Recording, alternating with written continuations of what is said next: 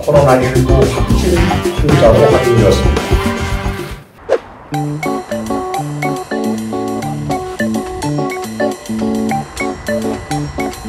수납을 하고 그 다음에 검체하는 과정이 차 안에서 모든 것이 다 이루어집니다.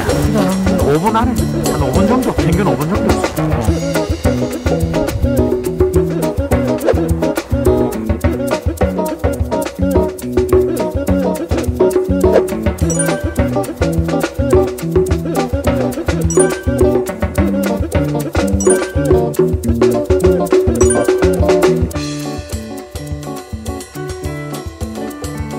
기존의 진료 시스템으로는 그 처리할 수 있는 그 환자 수가 매우 부족하, 부족할 것으로 예상이 돼서 드라이브 스루 시스템을 통해서 그 일일 처리 역량이 기존의 진료실, 진료실에서 접수받아서 하는 것보다 10배 이상, 하루에 100명 이상 네, 처리할 수 있는 그 능력을 갖추게 됩니다.